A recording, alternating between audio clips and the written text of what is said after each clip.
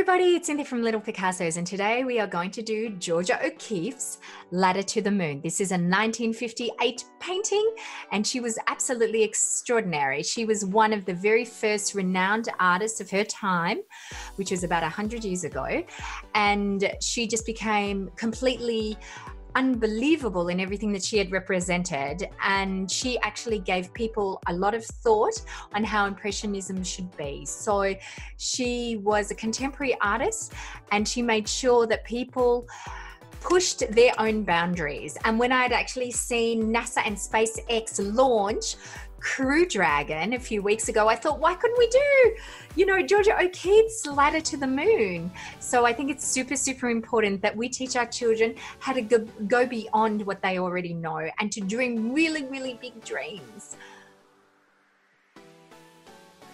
So the materials that we need today include acrylic paint. So we need green, we need blue, we need black, and we need white. We also need an A4 piece of paper, A4 piece of paper. We also need some glue and some scissors as well. So the very first thing we're going to do is view what we have to paint.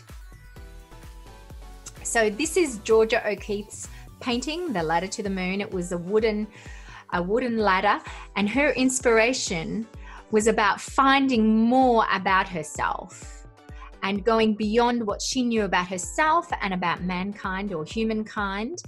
And so the universe and the stars represent this to her. So we have small um, mountains in the background, and they look like mountains from the desert.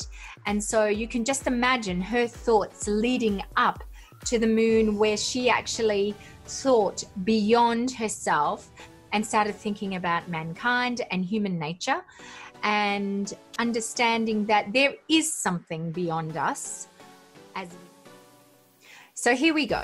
The very first step we're going to do is create the turquoise background.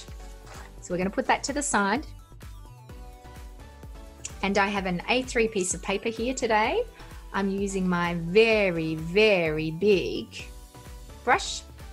And it's a size 8 or 10 brush. Which one's this one? This one's 8 so we're wanting to make I'll just move the computer to the side and we're wanting to make turquoise blue.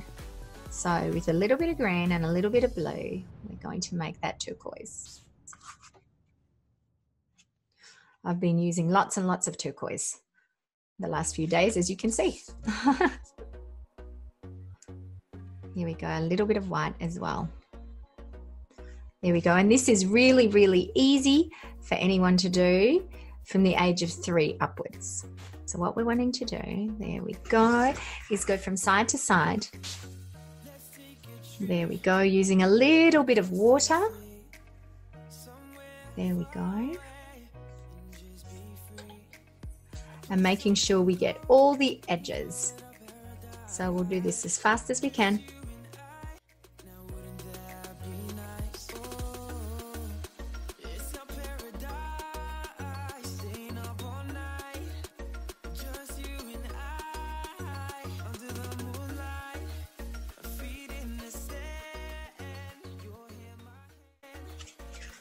So I'm running out of my turquoise, so I need to make a little bit more. So it's really easy to make just with primary blue and some green. And this is obviously acrylic paint. It's so thick. There we go. From side to side. There we go. And if we're wanting to water it down just a little bit, there we go.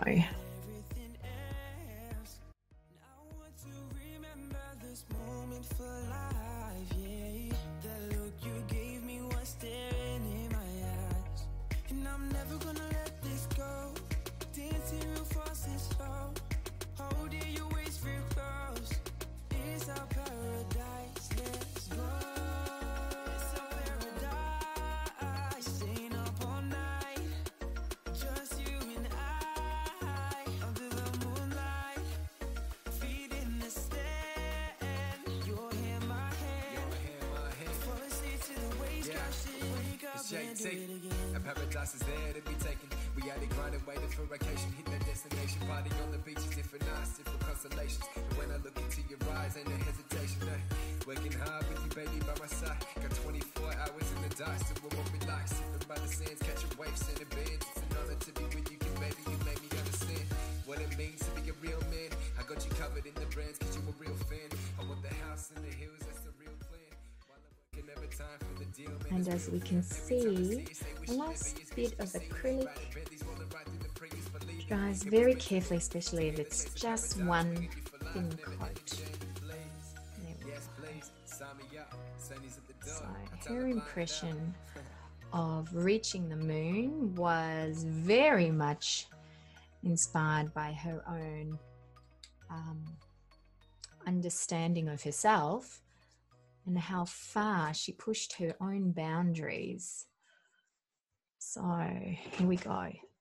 So what we need to do, we need to grab, we're going to put that to the side so it can dry. Here we go. And I've got my A3 piece of paper, but what I want to do is I actually just want to cut up maybe about four centimeters worth as straight as possible. And I've got fairly thick paper. So here it is. So what I want to do, and the children can do this by themselves, is I want to fold it in half and then fold it in half again. And I'm going to grab a Sharpie and create, oh, my Sharpie's running out. Here we go. And create a square that, so it's a H shape. What I want to do is cut it out. Now, the kids might find this a bit difficult if you're using very, very thick paper. So what we need is we need paper that's not so thick for the kids for the actual for the actual ladder. Okay?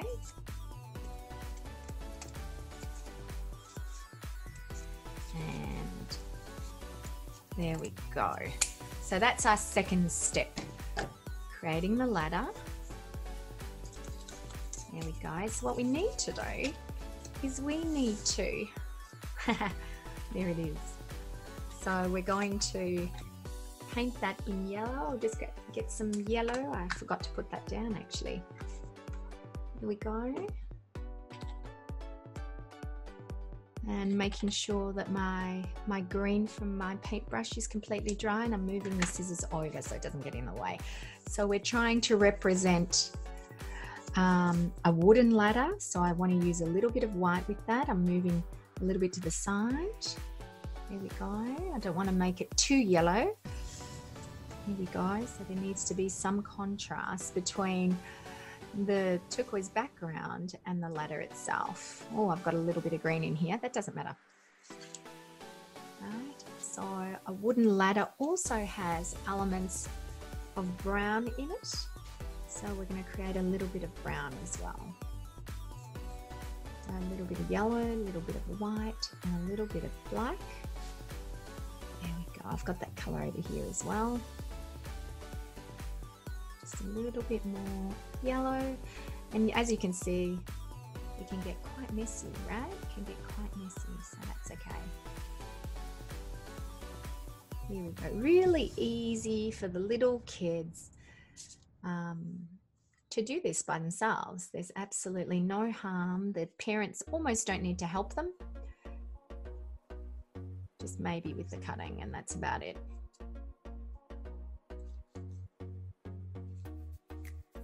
There we go. We've got the antique look happening. And you will get dirty through this project. So, and I'm doing this rather quickly, so you can pause the video if you wish until you're finished. I'm using very, very little paint.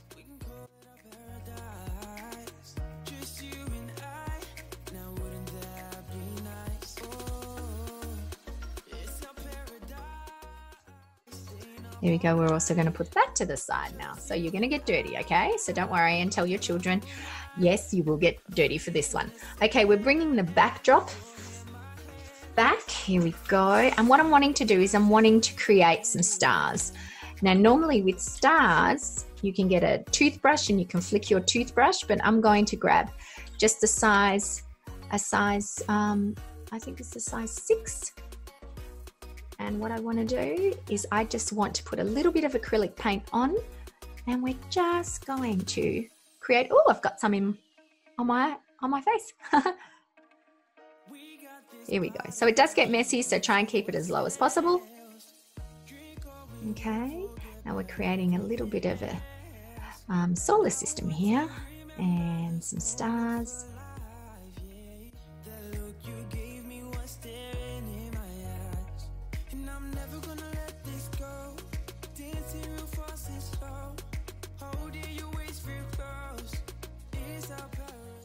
That's it.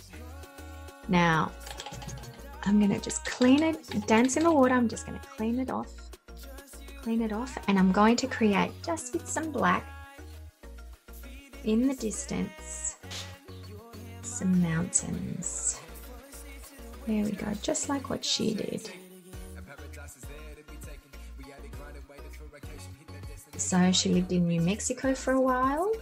And so I'm presuming that these are parts of or memories of the mountains in the desert in New Mexico.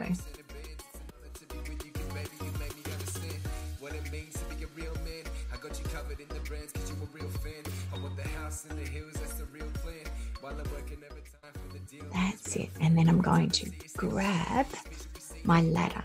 Okay, but there's something missing because it's a ladder to the moon. So I'm going to place that down and I'm going to compose how I want this particular painting to be.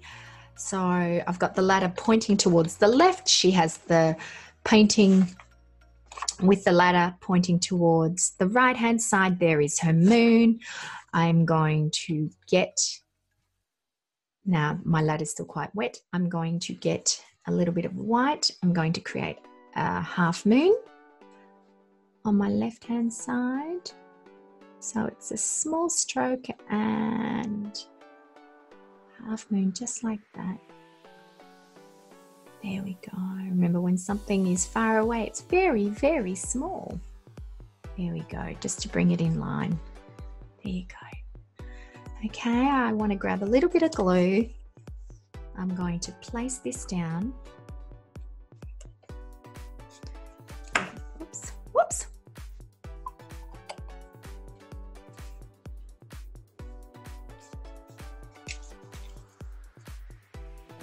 Just putting it to the side. There we go. My ladder to the moon. I'm tapping it down. And that's my very, very simple project. So thank you so much for watching today, and I hope you really enjoyed that project. So Georgia O'Keeffe's 1958 Ladder to the Moon. So make sure to like my page on Facebook and to follow me on Facebook and Instagram at Little Picassos Schwabing. Thank you so much for watching and see you next time. Bye.